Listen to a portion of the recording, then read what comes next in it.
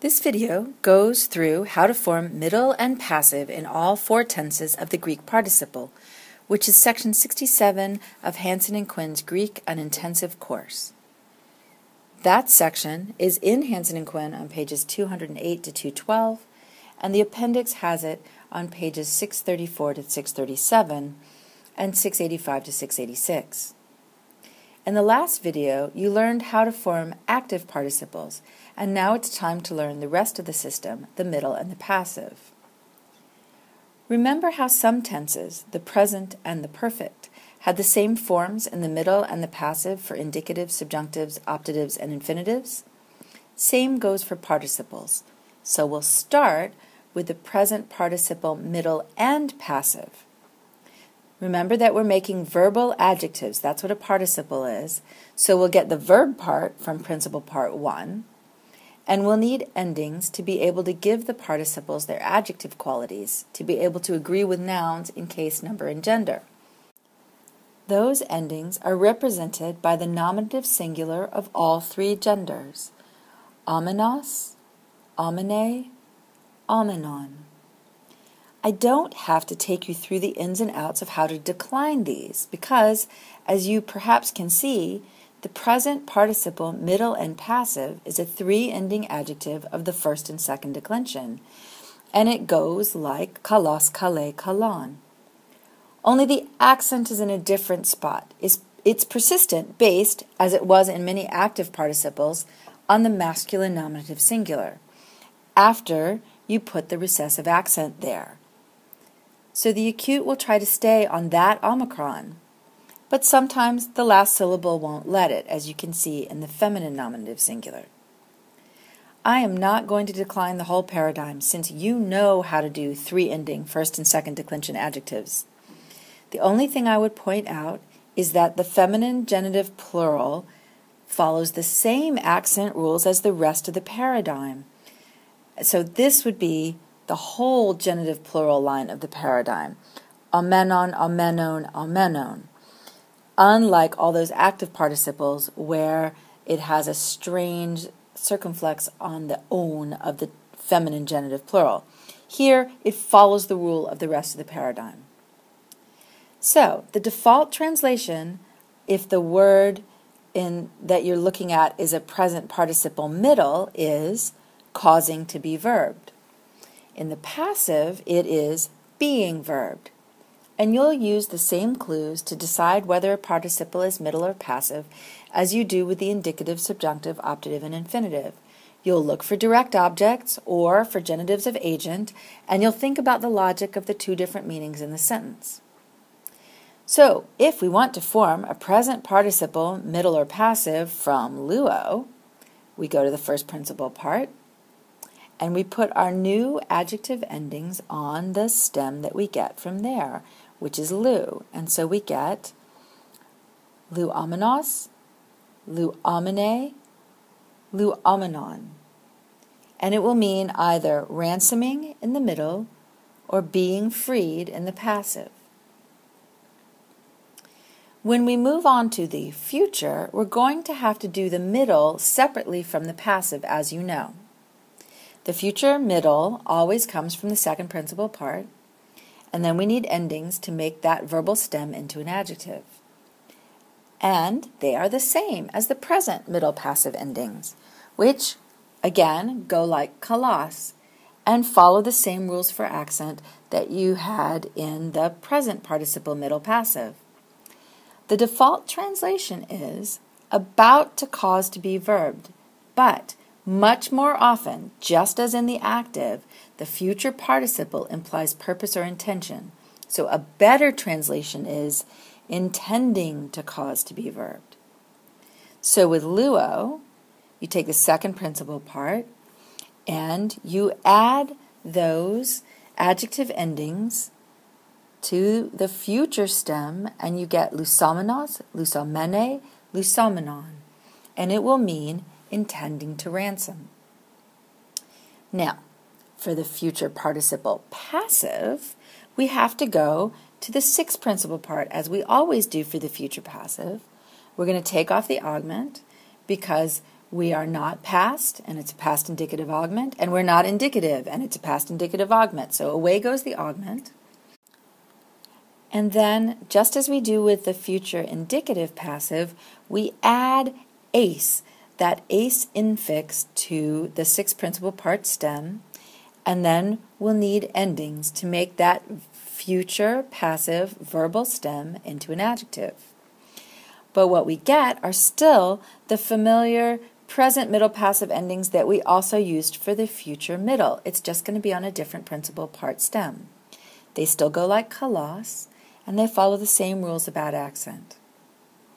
So, the default translation here for the future participle passive can be about to be verbed, but again, much more often the future participle implies purpose or intention, so the better translation is intending to be verbed.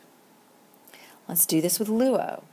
We go to the sixth principal part, we take off the augment and the ain ending, we add the ace infix and those adjective endings, and we get luthe somenos, luthe somene, luthe somenon.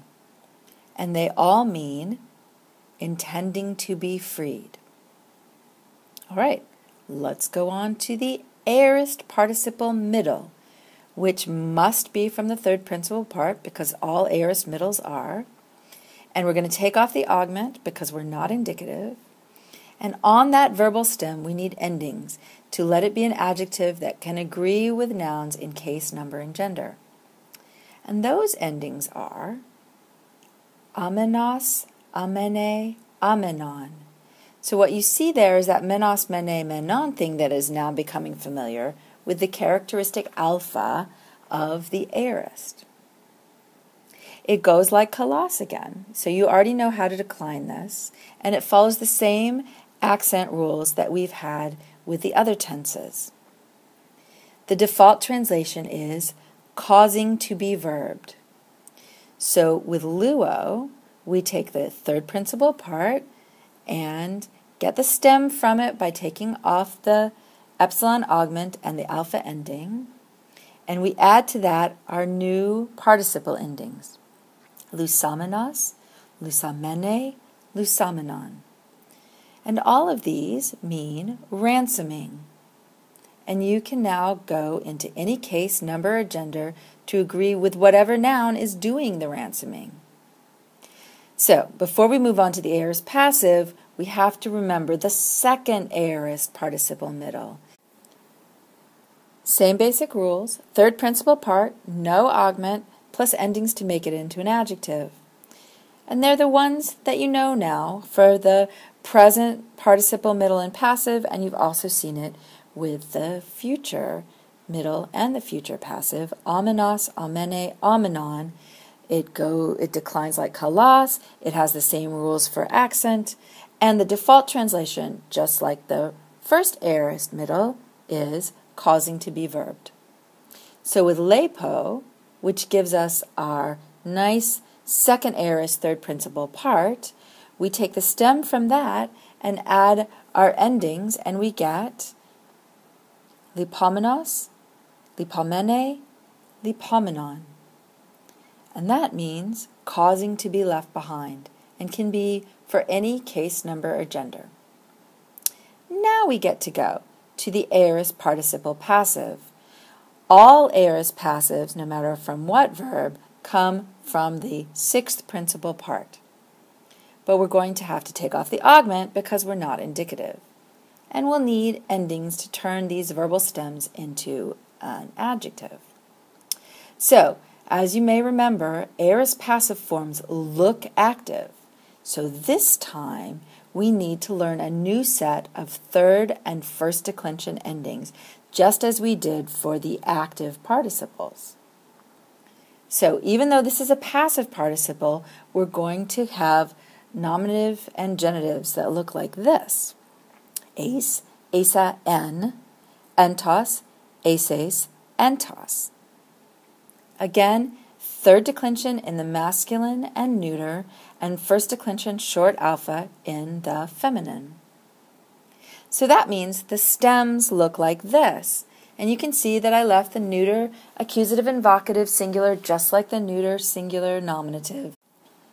And I left the singular vocatives looking exactly like the nominative vocatives. So, let's get in all of those other endings. Nt, ase, nt in the dative singular, enta, asan, n. Now I'm moving to the nominative plural, entes, asi, enta, entone, asone, entone, and of course I've stuck again at the damn dative plural, which is trying to be these forms, but I'm not even going to try to say them. Greek will then evaporate all those consonants and lengthen the vowel sound into the diphthong A. Those dative plurals also have nu movables. The rest of the endings look like this asis for the feminine dative plural, entas, asas, enta for the accusative plural, and the vocative in the plural the same as the nominative, entes, asi, enta. For these, accent is fixed on the first syllable of the ending, which means you can learn them on the ending if you want to. And here again, we're back to the feminine genitive plural that has this special circumflex over the omega of the own. And so learn that separately. The default translation for the aorist participle passive is verbed. So let's see this at work. We're going to take the sixth principal part of luo and put it in all of those um, cases and genders to get ready for our endings, which are here masculine, luthes, luthentos, luthenti, luthenta, feminine, luthesa, lutheses, luthese, luthesan, and neuter, luthen, luthentos, luthenti, luthen. And all of those mean freed. In the plural, let's see the masculine, luthentes, luthentone, luthesi, luthentas. In the feminine, luthesi, luthesone, luthesis, luthesas. And then in the neuter, luthenta, luthentone, luthesi, luthenta. And they still mean freed. All right, that just leaves the perfect participle, middle, and passive, since the same forms serve for both voices. All perfect middle and passive forms come from the fifth principal part. And that verbal stem will need endings so that they can be adjectives. Those endings are simply menos, mene, menon, which are again Nice three ending first and second declension adjective endings like kalos, kale, kalon. This time the accent is fixed on the first syllable of the ending, so you can learn it right there. Menos, mene, menon. In the middle, the default translation is having cause to be verbed. And in the passive, it's having been verbed. Emphasis in both cases on completed aspect. With luo, you take the fifth principal part and remove the my and slap on those nice adjective endings. Lelumenos, lelumene, lelumenon. Consonant st- stems will cause the usual trouble, but since this ending begins with a mu, just like the my that's in the principal part, you can safely remove the my and add the menos, mene, menon to whatever remains lelumenos, lelumene, lelumenon will mean having ransomed in the middle or having been freed in the passive. You'll use the same clues to decide whether a participle is middle or passive as you do with the perfect indicative and the perfect infinitive. You'll look for direct objects and datives of agent, and you'll think about the logic of the two different meanings in the sentence. Believe it or not, that's it. With the video for section 66, you know all the endings for the participles and all the tenses and voices. You're ready to start practicing using them in context for all of the amazing things that the Greek participle can do.